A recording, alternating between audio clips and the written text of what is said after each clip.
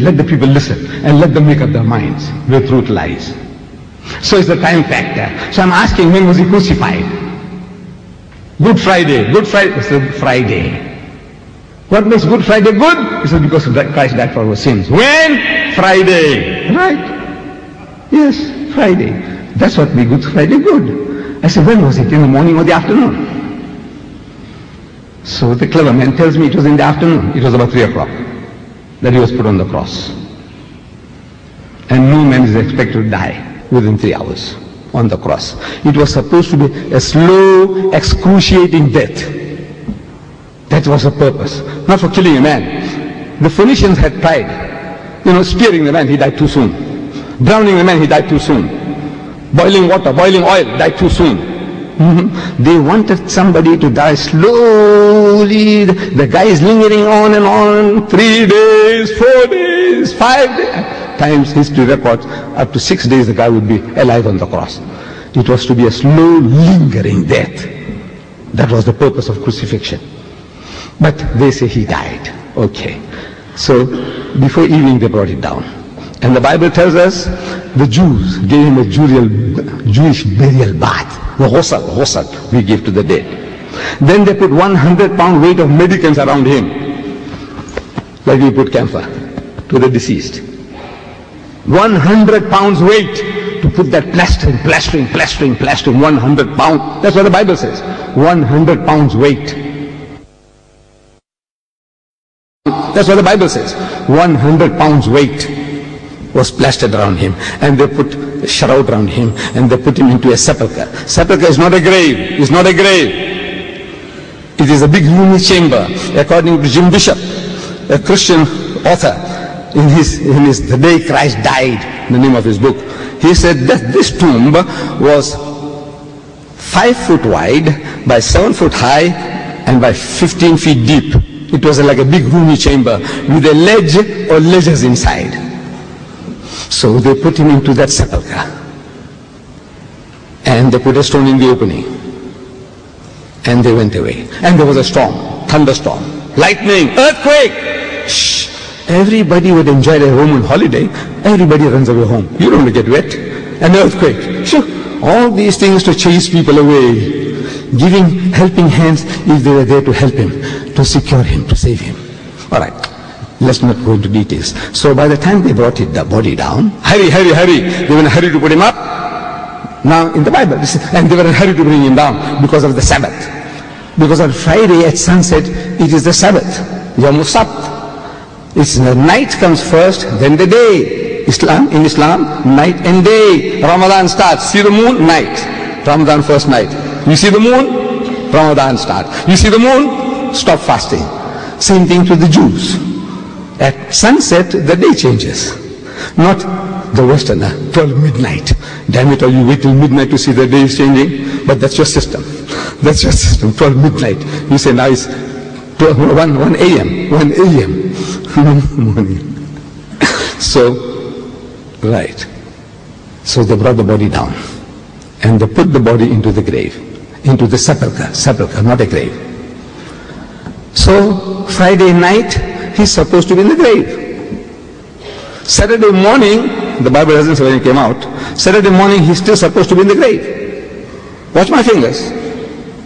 No tricks of the hand, the of the hand. The, the, guy in the circus, you know, he's clowning and he's doing this and that and he's deceiving you with his movements of his fingers. Mm-hmm, no, watch, watch here, watch mine. Friday night, he's supposed to be in the grave. Saturday day, he's still supposed to be in the grave. Saturday night, he's still supposed to be in the grave.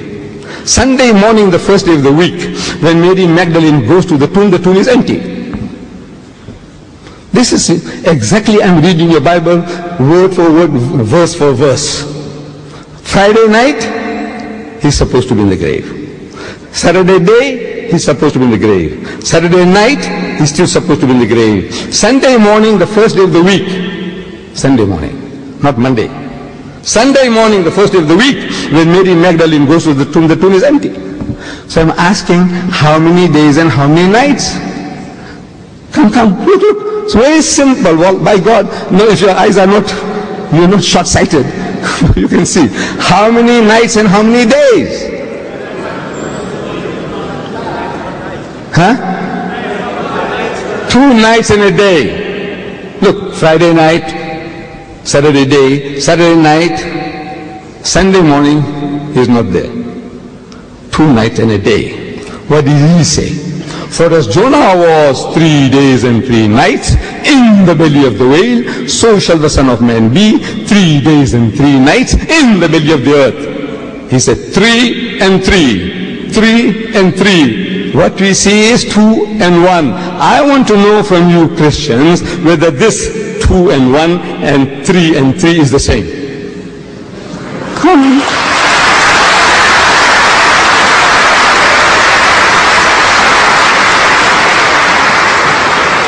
Do you know even an Einstein can't help you? No Einstein can help you in this. Look at this man, simple exercise. Two nights in a day. He said three and three. Three and three. He repeats it four times. And he's only giving you two and one. Again he let you down. Look, there's something wrong. That's what the Muslims trying to tell you. There's something wrong with your reading of this. I'm not saying that your Bible is false this is wrong. No, no, no, no, no. I don't say that. I said, no, you English people, man, you English speaking people, you gave me your Bible in the King James Version, and I like that English. I liked it. I like it. And now I read that Bible you gave me, and I see that is exactly opposite of what you're telling me. Believe me, exactly opposite of what you are trying to tell me, I read it. And that's how I understand. So I'm asking you, is this like Jonah or unlike Jonah? Is this three and three? Is this the same as this? I'm asking you. what I'm trying to be clever. Funny.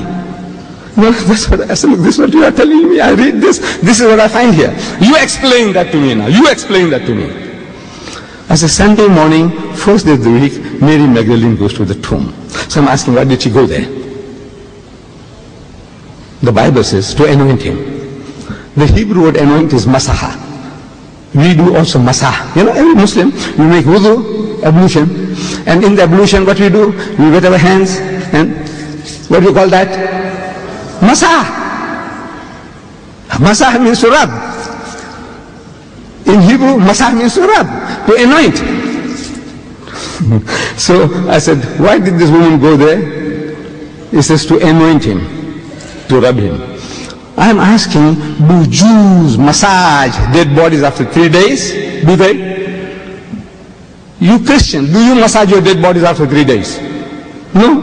We are the closest to the Jew, the Muslims, in our ceremonial law. Do we, do we Muslims massage dead bodies after three days? Do we?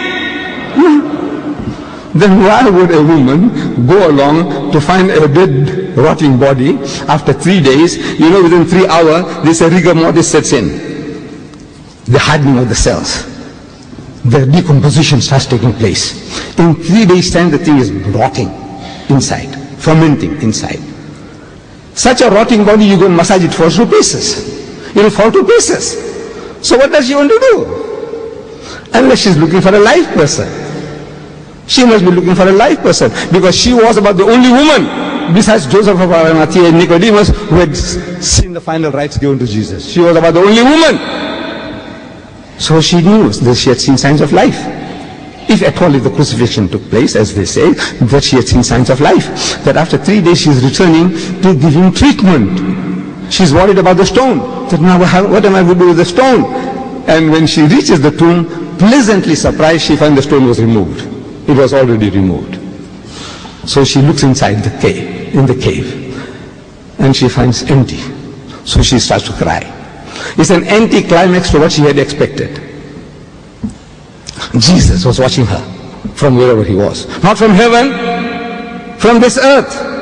You see, this tomb was a privately owned property belonging to Joseph of Arimathea, a very rich, influential Jewish disciple of Jesus who could afford to carve out this big roomy chamber a sepulchre for himself. Around this sepulchre he had his vegetable garden and his country home where he went for his holidays, for the weekends with his family. It's not out in the bundu that he was planting wheat and corn for other people's sheep and goats to graze upon. He must have his gardeners, those people to look after his garden. This is all the scene. And Jesus is there. He sees this woman. He knows who she is. So he comes up to her from behind. And he finds her weeping. So he said, Woman, woman, why weepest thou? Whom seekest thou? Doesn't he know? Doesn't he know? Of course he knows. Then why does he ask such a silly question? No, no, it's not a silly question. Actually, he's pulling her leg, metaphorically. Not physically, metaphorically. He's pulling her leg. Says, woman, why weepest thou? Whom seekest thou? She, I'm reading, I'm reading your Bible. She, supposing him to be the gardener. I'm asking, why does she suppose he's a gardener? Do resurrected bodies look like gardeners? Huh? That we all, when we are resurrected at the end of time, everybody wakes up as a gardener. So the wife doesn't know that whether it is a husband or father or grandfather, everybody is a gardener. Her son, she doesn't know who's who. Is that how it is? No, the resurrected bodies will be yours, yourself. Everybody will be able to recognize you. It will be the real you. So why does she suppose he's a gardener? I said, because he's disguised as a gardener. Why is he disguised as a gardener? What for? I say, because he's afraid of the Jews. Why is he afraid of the Jews? I say because he didn't die and he didn't conquer death. Had he died and if he had conquered death, there's no need to be afraid anymore. Because the resurrected bodies can't die twice. You asked me, who says that? I said, your Bible. Paul says, it is ordained unto all men once to die and after that the judgment. You can't die twice. So if he had conquered death, no need to be afraid. Because nobody can kill him anymore. But he had escaped death by the skin of his teeth. If he gets caught, they'll make doubly sure, the Jews make doubly sure that they kill him. So he's disguised as a gardener. She's supposing him to be the gardener. Says, Sir, if you have taken him hence, tell me where have you laid him? To rest, to relax, to recuperate, not where have you buried him? So that I might take him away. I alone, one frail Jewess, carrying away dead rotten corpse of at least 160 pounds, not like me, I'm 200. Not like me. Jesus, you know, sorry, muscular young man, 160 at least, with 100 pounds weight of medical make him 260. Can you imagine this Jewess carrying this rotting corpse like an American superwoman? You know, she could do. I said, take him and carry him and take him where? Bury him as a hood like the grave. To bury, carrying is one thing, 260 pounds. Maybe this superwoman, she can do it. Hmm? But to bury him, she have to dump him in a hole. Does it make sense? She's going to dump him in a hole. Does that make sense? No, no, no. She's talking about that I alone might take him away for treatment, to look after him. Come on, come on. My dear brothers and sisters, look, each and every, everything, every verse I'm telling you now, I give you 30 different reasons from the Bible that Jesus didn't die, didn't die, didn't. He was alive, he was alive, he was alive. 30 different reasons from the Bible. I have written a book called Crucifixion or Cruci-fiction. I don't know whether it's available in this country, but you write to me, you should get it, or in my volume two of the choice, you should get it. I would rather, I can see the enthusiasm among my Christian brethren. I would rather give them the chance to ask questions. And there are two mics available. There's one on this end and on this other end. Want people to queue up, you know, and then we will ask one at a time, one to the right, one to the left, one to the right, one to the left. But give our Christian brothers a preference, that's all. You Muslims also have a right to ask questions, but give our Christian brethren a preference that to ask questions first. Mr. Chair, thank you.